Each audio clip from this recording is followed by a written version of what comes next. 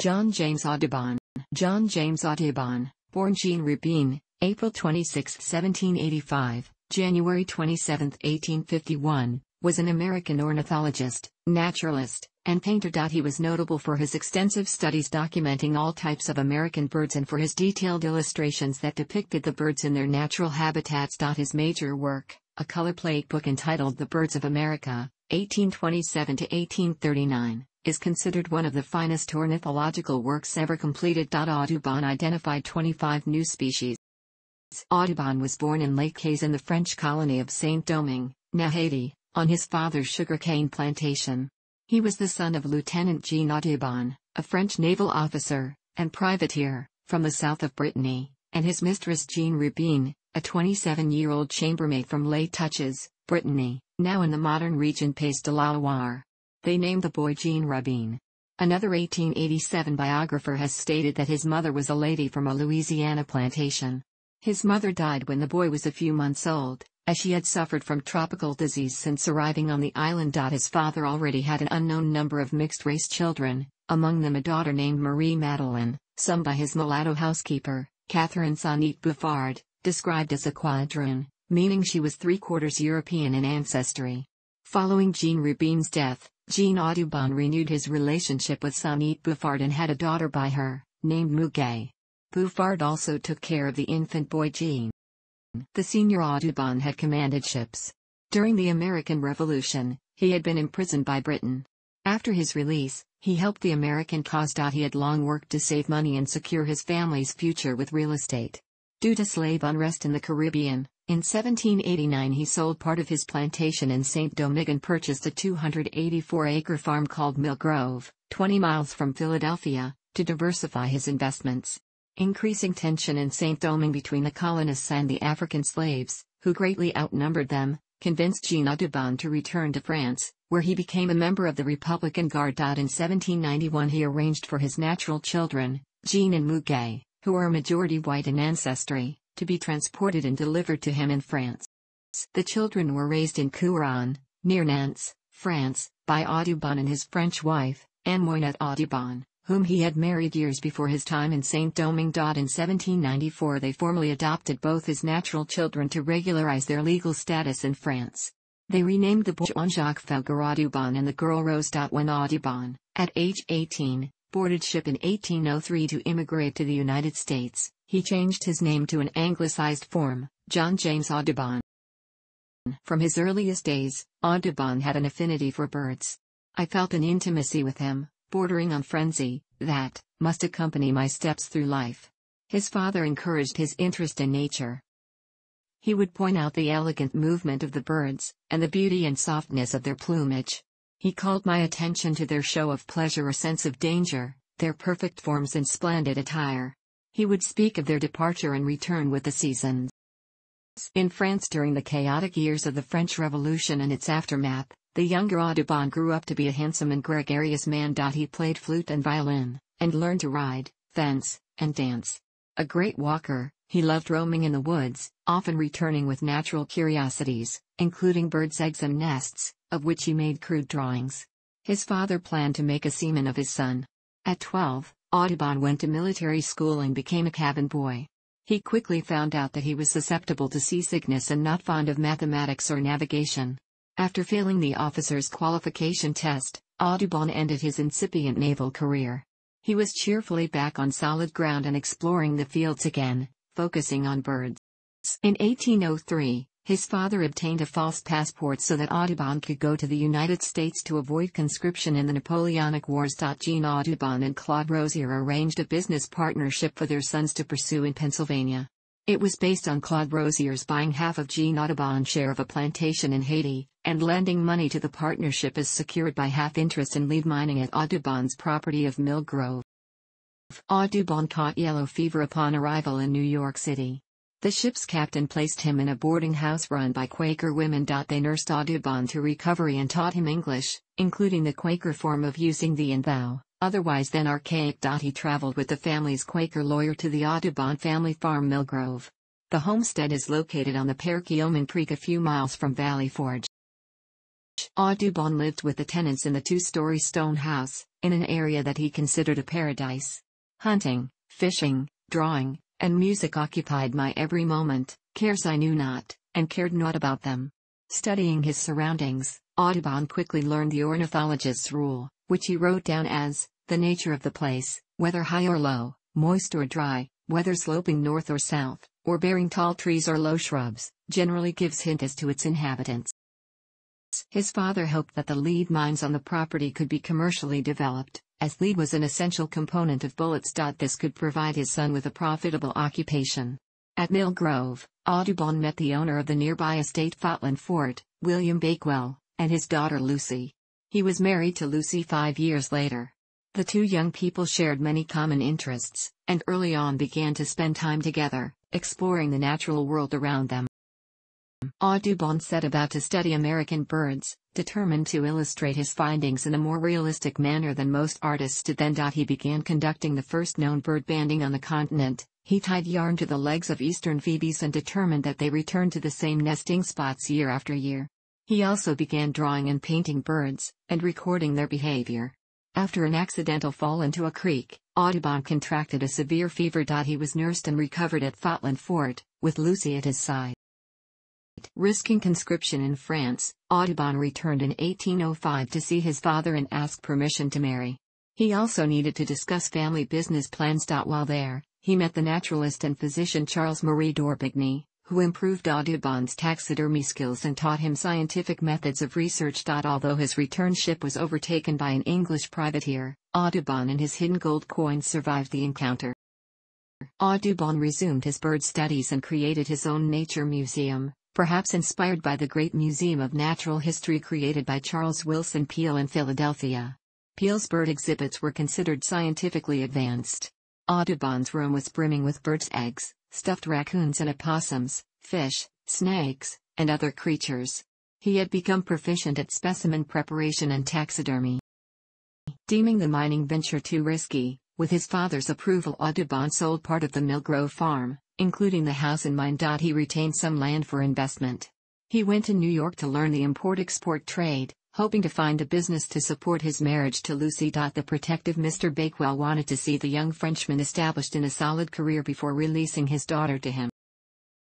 In 1808, Audubon moved to Kentucky, which was rapidly being settled. Six months later, he married Lucy Bakewell. Though their finances were tenuous, the Audubons started a family. They had two sons, Victor Gifford, 1809-1860, and 1812-1862, and two daughters who died while still young, Lucy at two years, 1815-1817 and Rose at nine months, 1819-1820. Both sons would eventually help publish their father's works.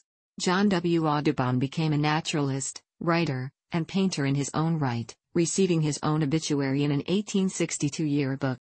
Audubon and Jean Ferdinand Rozier moved their merchant business partnership west at various stages, ending ultimately in Sweet. Genevieve, Missouri, a former French colonial settlement west of the Mississippi River and south of St. Louis.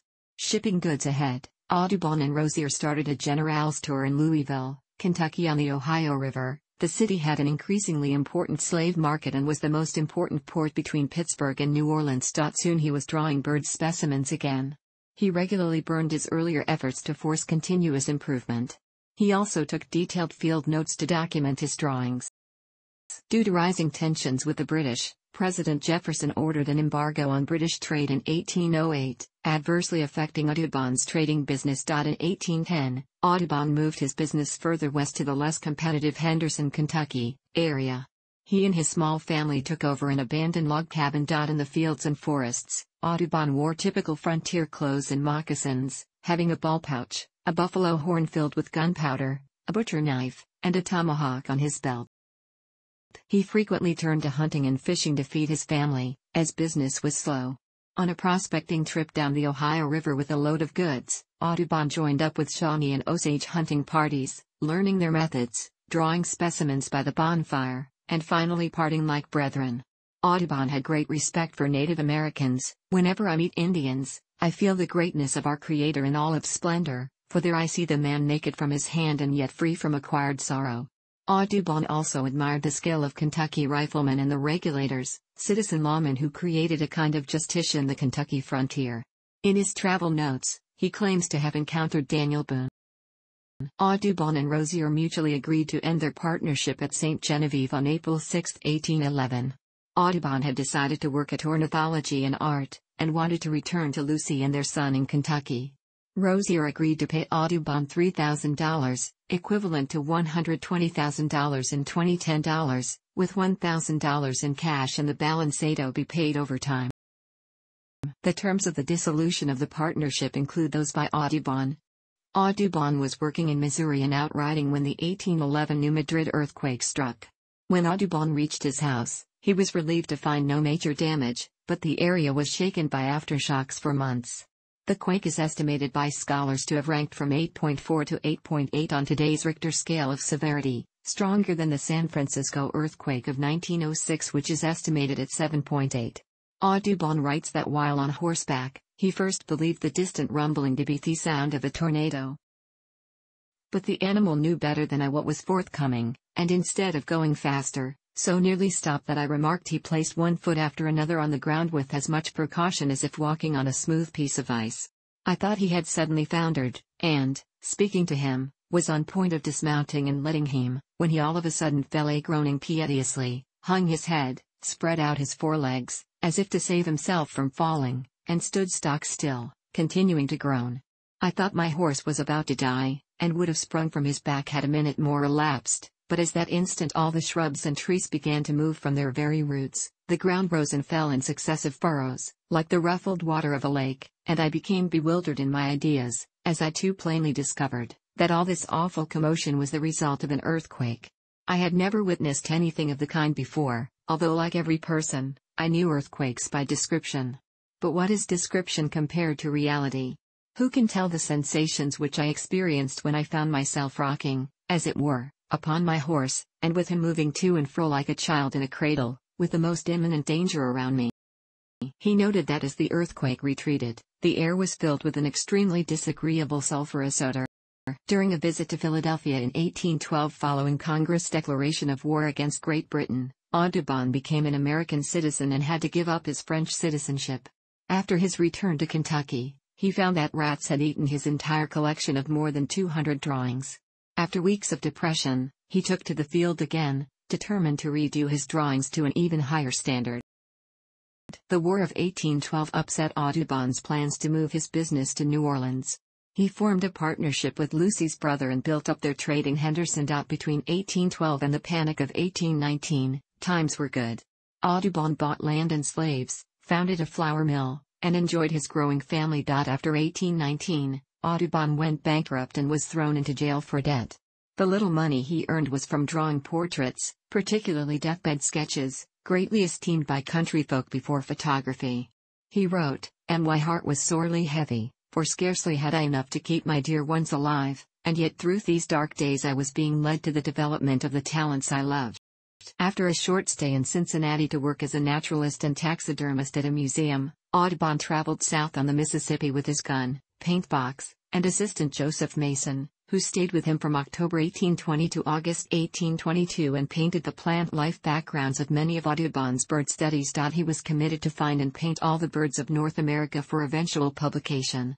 His goal was to surpass the earlier ornithological work of poet naturalist Alexander Wilson. Though he could not afford to buy Wilson's work, Audubon used it to guide him when he had access to a copy. In 1818 Rafinesque visited Kentucky and the Ohio River Valley to study fishes and was a guest of Audubon. In the middle of the night, Rafinesque noticed a bat in his room and thought it was a new species. He happened to grab Audubon's favorite violin in an effort to knock the bat down, resulting in the destruction of the violin. Audubon reportedly took revenge by showing drawings and describing some fictitious fishes and rodents to Rafinesque. Rafinesque gave scientific names to some of fishes in his Ichthyologia Ohiensis. On October 12, 1820, Audubon traveled into Mississippi, Alabama, and Florida in search of ornithological specimens. He traveled with George Lehmann, a professional Swiss landscape artist. The following summer, he moved upriver to the Oakley Plantation in Feliciana Parish, Louisiana, where he taught drawing to Eliza Pirrie, the young daughter of the owners. Though low paying, the job was ideal, as it afforded him much time to roam and paint in the woods. The plantation has been preserved as the Audubon State Historic Site, and is located at 11788 Highway 965, between Jackson and St. Francisville. Audubon called his future work The Birds of America. He attempted to paint one page each day. Painting with newly discovered technique, he decided his earlier works were inferior and redid them. He hired hunters to gather specimens for him. Audubon realized the ambitious project would take him away from his family for months at a time. Audubon sometimes used his drawing talent to trade for goods or sell small works to raise cash. He made charcoal portraits on demand at $5 each and gave drawing lessons. In 1823 Audubon took lessons in oil painting technique from John Steen, a teacher of American landscape, and history painter Thomas Coldout though he did not use oils much for his bird work. Audubon earned good money painting oil portraits for patrons along the Mississippi. Audubon's account reveals that he learned oil painting in December 1822 from Jacob Stein, an itinerant portrait artist. After they had enjoyed all the portrait patronage to be expected in Natchez, Mississippi, during January to March 1823, they resolved to travel together as perambulating portrait artists. During this period, 1822 to 1823, Audubon also worked as an instructor at Jefferson College in Washington, Mississippi. Lucy became the steady breadwinner for the couple and their two young sons. Trained as a teacher, she conducted classes for children in their home. Later, she was hired as a local teacher in Louisiana. She boarded with their children at the home of a wealthy plantation owner, as was often the custom of the time. In 1824, Audubon returned to Philadelphia to seek a publisher for his bird drawings. Though he met Thomas Sully, one of the most famous portrait painters of the time and a valuable ally, Audubon was rebuffed for publication. He had earned the enmity of some of the city's leading scientists at the Academy of Natural Sciences of Philadelphia. He took oil painting lessons from Sully and met Charles Bonaparte, who admired his work and recommended he go to Europe to have his bird drawings engraved. With his wife's support, in 1826 at age 41, Audubon took his growing collection of work to England. He sailed from New Orleans to Liverpool on the cotton hauling ship Delos, reaching England in the autumn of 1826 with his portfolio of over 300 drawings. With letters of introduction to prominent Englishmen, Audubon gained their quick attention. I have been received here in a manner not to be expected during my highest enthusiastic hopes. The British could not get enough of Audubon's images of backwoods America and its natural attractions. He met with great acceptance as he toured around England and Scotland, and was lionized as the American woodsman. He raised enough money to begin publishing his The Birds of America. This monumental work consists of 435 hand-colored, life-size prints of 497 bird species, made from engraved copper plates of various sizes depending on the size of image. They were printed on sheets measuring about 39 by the work contained slightly more than 700 North American bird species, of which some was based on specimens collected by fellow ornithologist John Kirk Townsend on his journey across America with Thomas Nuttall in 1834 as part of Nathaniel Jarvis Wyeth's second expedition across the Rocky Mountains to the Pacific Ocean. The pages were organized for artistic effect and contrasting interest, as if the reader were taking a visual tour.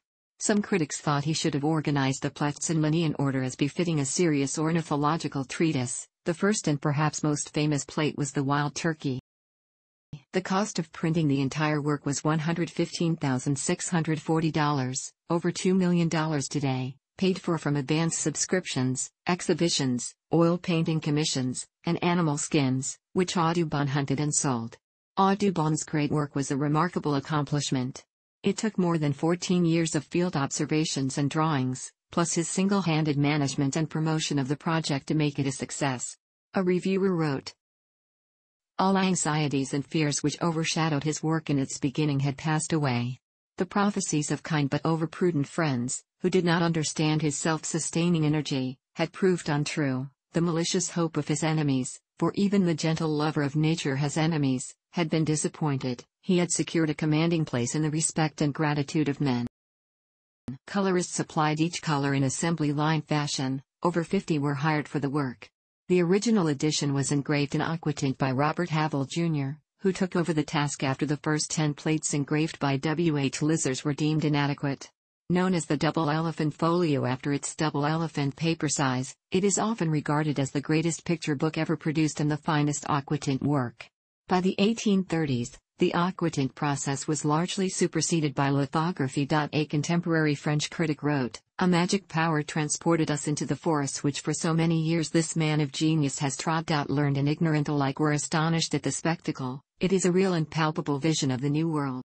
Audubon sold oil-painted copies of the drawings to make extra money and publicize the book. A potential publisher had his portrait painted by John Syme, who clothed the naturalist in frontier clothes. The portrait was hung at the entrance of his exhibitions, promoting his rustic image. The painting is now held in the White House Art Collection, and is not frequently displayed. The New York Historical Society holds all 435 of the preparatory watercolors for the Birds of America.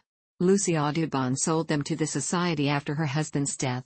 All but 80 of the original copper plates were melted down when Lucy Audubon, desperate for money, sold them for scrap to the Phelps Dodge Corporation.